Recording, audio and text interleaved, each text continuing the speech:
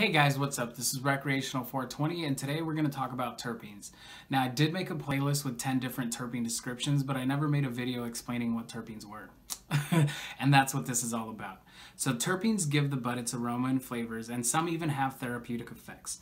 Different combinations of terpenes can be found in every strain, and the ratio in which they are present are just as important to the effects that you will feel as the THC is, or pretty close to it.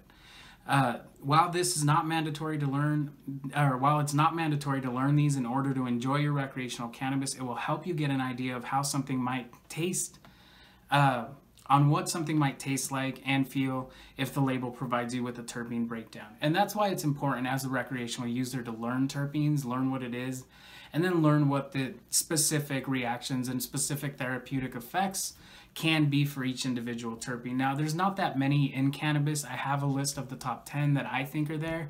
If you feel that there's any missing, you're more than welcome to let me know and I'll gladly throw it on there.